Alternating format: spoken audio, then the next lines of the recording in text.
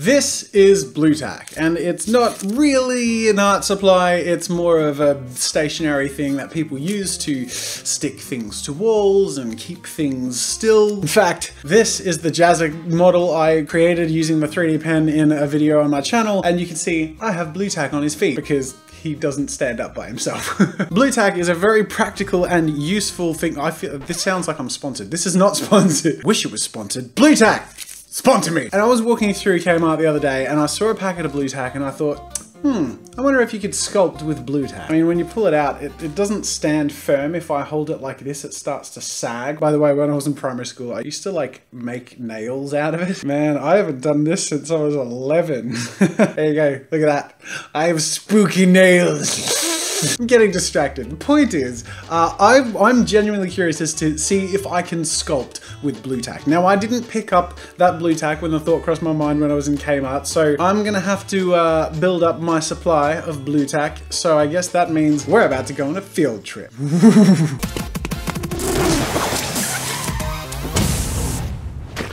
G'day ladies and gentlemen, welcome to Draw with Jazza. I'm Jazza and I'm going to do the blue Tack Sculpture Challenge today. I don't know what sculpting can be done with blue Tack, but I'm going to go find out. I don't think I have enough blue Tack though and I want to get some supplies to model with. So I'm going to head out for a bit of a shop and uh, as you guys know, I'm a little bit nervous when it comes to public vlogging, but I have a little trick up my sleeves that I'm hoping will give me some confidence. All right, stop number one is Kmart. I'm walking through obscure sections of Kmart just because I feel like an idiot, but I feel like these glasses are shielding me somewhat because people can't see the terror in my eyes. All right, let's walk through the ladies section. Ladies love a good vlogger, don't they? My wife does. oh, lingerie. I might blush. All right, so I'm on through to stationery and this is where the magic happens. I love every now and then going through an office supply place and just finding random things and I think, oh, I can make art out of that. And this is one of my favorite rows. So here we have a bunch of different stuff, looking for something very specific. Here we go. Oh my God. There's colored blue Tack, but then it's not blue, it's color tack.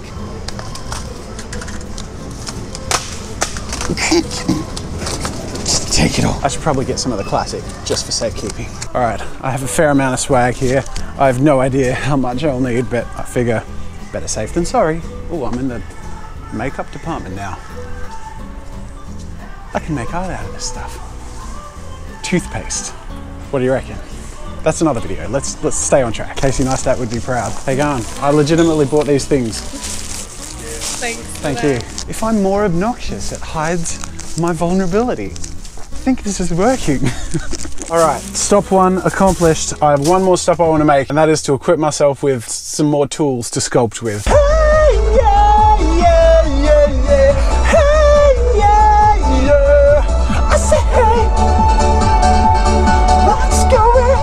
Sculpting tools, where do I find those? I'll probably get a couple of these, but I think there's like a little metal thing that I've seen with a sharp end and a slightly flattened end. Do you I haven't seen what I'm talking about? Um, I might just have a look around. Do you mind if I talk to myself for a bit?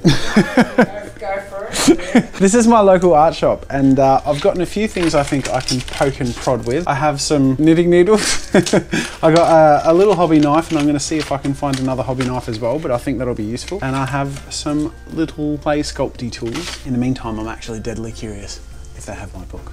I doubt it, but that'd be cool. Could I obnoxiously ask if you'd order in my book?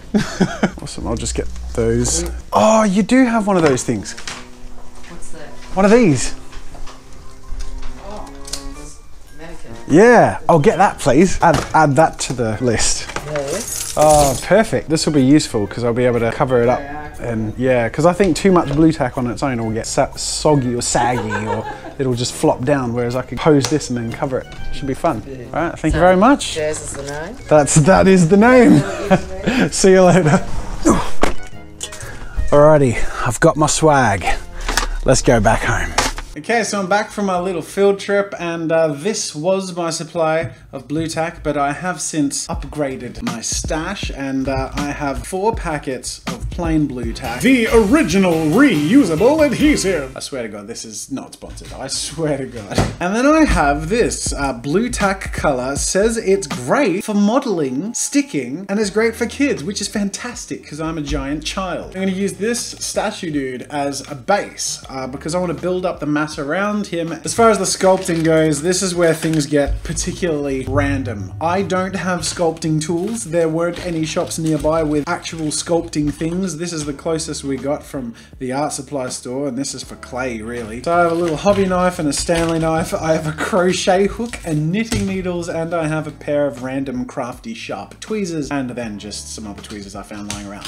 I have no idea what is going to be useful, but I'm going to have fun finding out. I'm going to start sculpting blue tack on my figure here and see if I can come up with something cool. Wish me luck. Good luck, Jazza. Oh, wow, thank you, Mr. Statue. But I dare say that delivery was a little wooden. Okay, I'll stop. Alright, so jumping into the creation process, first I create a pose. I thought I'd go for something sort of reaching and leaning back and up towards something in the distance, and because the mannequin is kind of unnatural looking, I thought I'd roll with that and create an alien type character, perhaps reaching or yearning towards the distance where maybe their flying saucer friend is leaving them or something, I don't know. I block out some of the rough geometry and build up the mass in areas I want to work with, particularly in the face, by whacking on some of that blue tack and then slowly on top of that thinning out and adding my color tack in areas that would be appropriate. Because I have very fluoro and neon colors to work with, I thought I'd go for a bit of an 80s vibe, complete with puffy orange sleeveless vest jacket thing. Now the thing I learned very quickly when trying to sculpt with blue tack is, to be frank, blue tack is not easy to sculpt with. For two reasons. First of all, the malleability of the blue tack is quite difficult to work with and really hard to shape. It feels quite solid and if you work it to the point where you're heating it up and it's easier to move, it gets very sticky and is even less workable. So I kept my room fairly cold so it was at least somewhat workable even though I couldn't smooth or blend any of the blue tack areas on the surface. It wasn't going to look neat no matter what way I went about it. When it comes to detail, I tried to cut and refine the pieces on my cutting board before I put it onto the statue, things like the edges around the leg warmer or the rims around the wrist of the gloves, rolling out the fingers separately, and all of the parts of the gloves and the hands I built separately before putting them into and on the character. The character itself was quite top heavy and the stand wasn't very stable, so uh, it was a little hard to work with and quite shaky at times. Fortunately, I had plenty of blue tack around, so I did put some of that under the actual stand.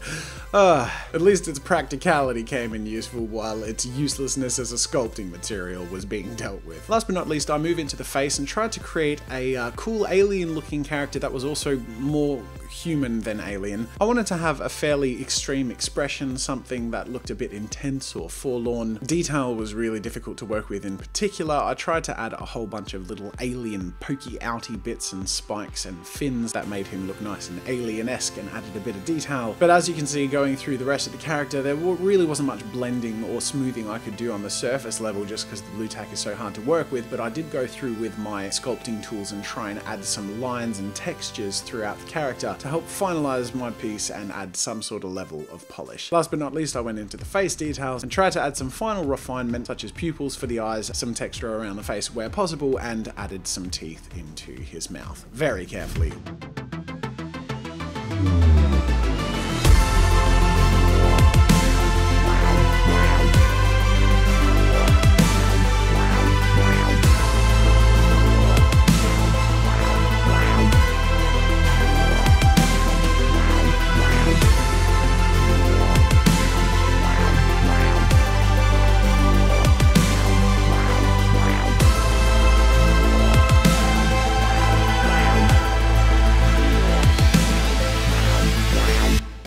So here it is, ladies and gentlemen. This is the finished result of my blue tack sculpture challenge. I love the way this turned out. This is way cooler than I expected, especially when I started using this stuff. I was like, oh man, I won't be able to make anything with this. But it turned out pretty cool. I guess you could say I nailed it. Once again, through the uh, colors I was limited to, I went for this sort of 80s vibe. And of course, because the statue thingy was so sort of odd looking, I thought I'd roll with that and just go with an alien. So I have here an 80s alien, sort of feeling a bit of a Marty McFly vibe. That is it for this video. I hope you enjoyed it. Make sure to like if you enjoy the result of my blue Tack sculpture challenge. I had loads of fun. I even got through some public vlogging for you guys, so you're welcome. If you enjoyed this video, make sure to leave a like and of course subscribe to Draw with Jazza if you haven't joined yet because we have loads of fun with a whole bunch of different creative mediums and supplies, whether they're conventional or not. For example, at the start of the video, saw this. This is something I made in a, a 3D pen video, so I'll link to that in the description if you want to check that out. I have a bit of a similar pose thing happening. There must be something about the dramatic